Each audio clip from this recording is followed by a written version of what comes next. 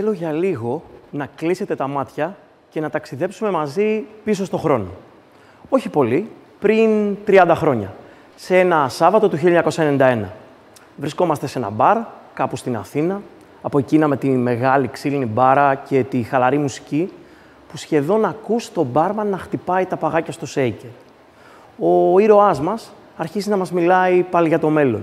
Ότι δηλαδή δεν θα χρειάζεται να πηγαίνουμε στο γραφείο και θα δουλεύουμε από το σπίτι και θα έχουμε σύνδεση 4 και 5G και όχι να περιμένουμε αυτό άπειρες ώρες.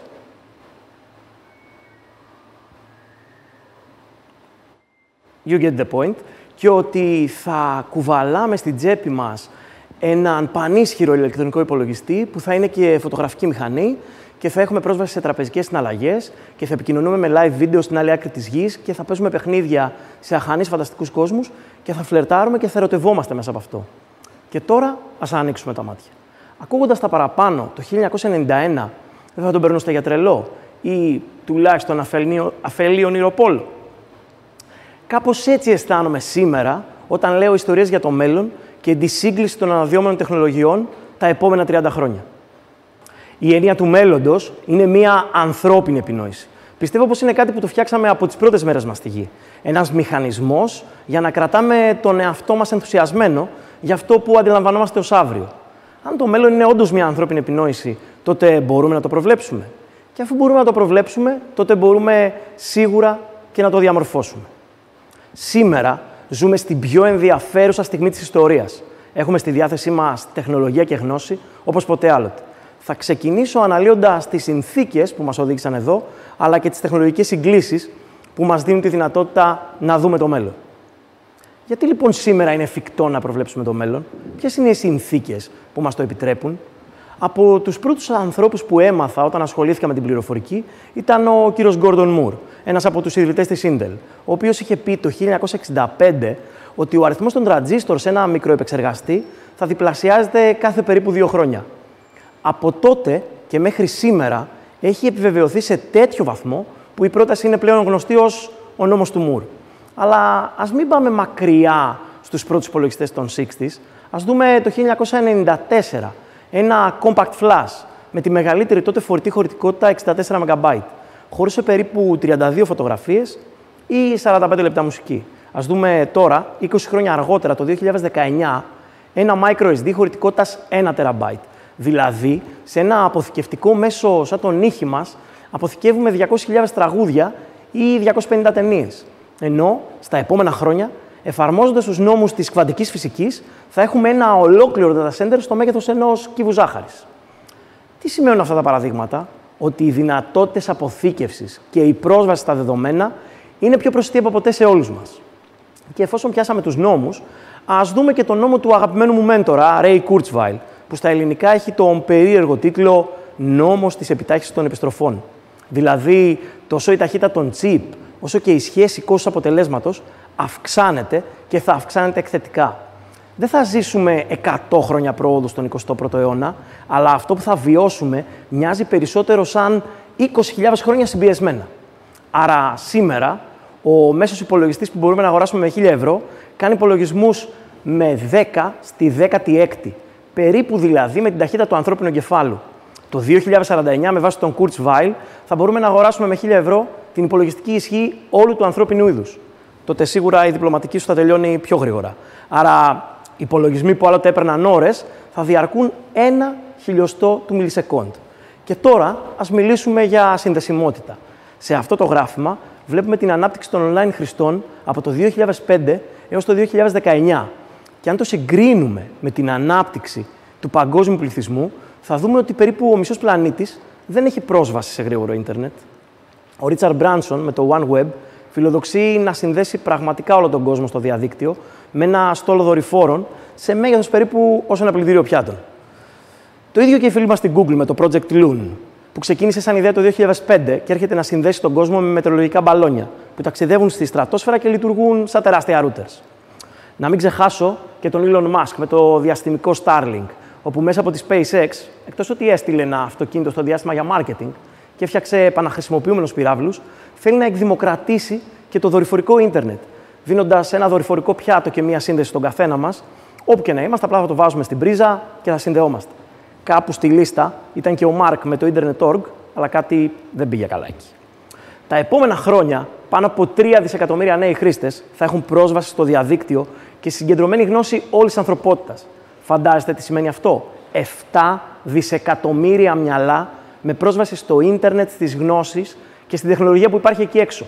Με τεράστια δυνατότητα συνεργασίας και εξέλιξης.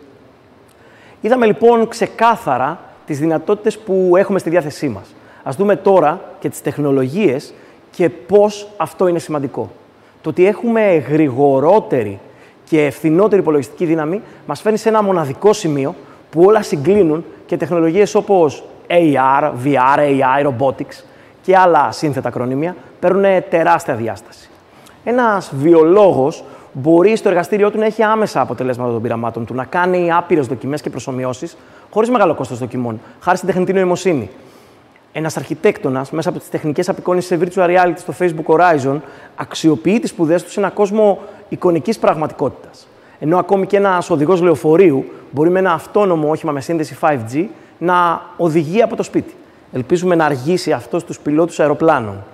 Άρα σήμερα βρισκόμαστε σε ένα σημείο στην ανθρώπινη ιστορία όπου με βάση τις συνθήκες και τις διαθέσιμες τεχνολογίες και κυρίως με σύμμαχο τη σύγκλησή τους μπορούμε να προβλέψουμε το μέλλον. Ας δούμε μερικά παραδείγματα του τι συμβαίνει σήμερα και ας τολμήσουμε μια πρόβλεψη για το μέλλον. Αυτή τη στιγμή ένα παιδί στη Ζάμπια μπορεί να ξεκινήσει τη δική του επιχείρηση και να δέχεται πληρωμές μέσω ενός αποκεντρωμένου συστήματος πληρωμών στο blockchain, χωρίς να χρειάζεται να συνδεθεί σε καμία τράπεζα ή χρηματοπιστωτικό ίδρυμα. Στο μέλλον θα μπορούμε να κάνουμε άνετα πληρωμές στο τοπικό μανάβικο μέσω ενός γνωστικού εμφυτεύματος με νομίσματα αποκεντρωμένα όπως το bitcoin και ο Ethereum.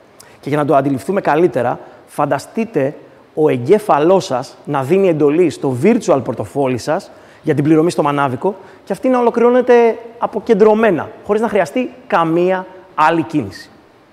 Ας δούμε τώρα τι γίνεται με την τροφή και τον πλανήτη Γη.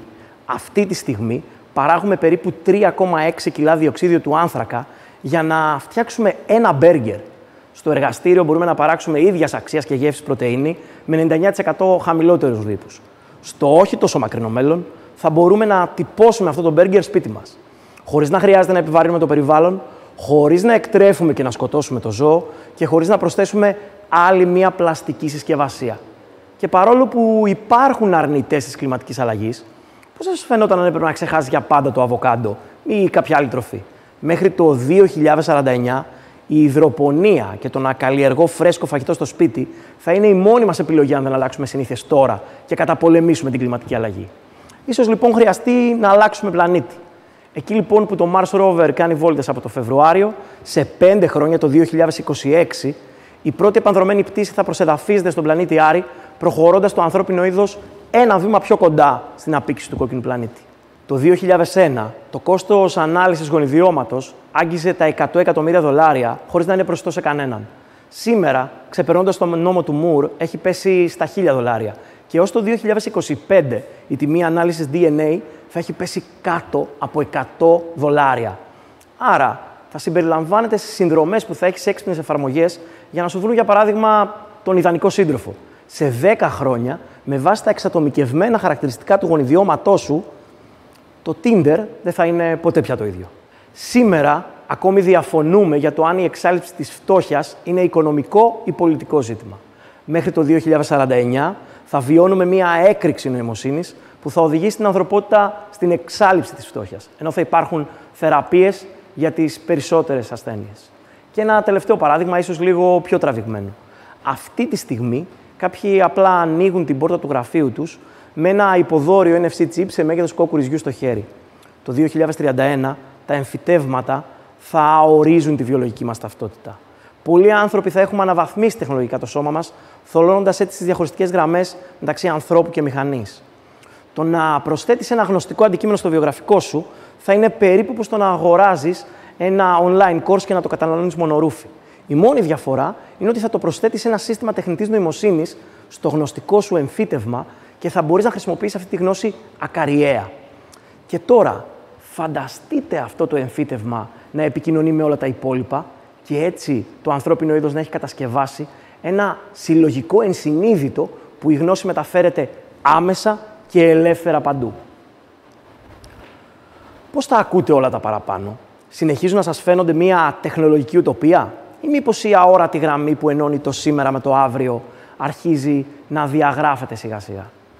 Σίγουρα κάποιοι έχουμε ανάμεικτα συναισθήματα. Ίσως δεν ξέρουμε πώς να νιώσουμε. Δεν είμαστε σίγουροι αν μια τέτοια πραγματικότητα μας χαροποιεί ή μας ανησυχεί.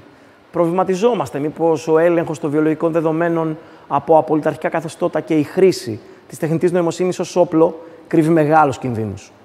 Σκεφτόμαστε ότι σε όλες τις τεχνολογίες που άλλαξαν την ανθρωπότητα, από τη φωτιά έως την ατομική ενέργεια και από την νανοτεχνολογία ως την τεχνητή νοημοσύνη, υπάρχει και η σκοτεινή πλευρά. Φοβόμαστε μήπως μια γενική τεχνητή νοημοσύνη θα μας αφανίσει ένα πρωί, όπως κάναμε ως Homo sapiens σε τόσα είδη. Είναι εύλογο να μας ανησυχεί το αύριο, αλλά το μέλλον δεν έρχεται σαν κεραυνός αναπάντεχα, έρχεται σιγά σιγά. Σαν μια γάτα που μπαίνει κρυφά στο σαλόνι.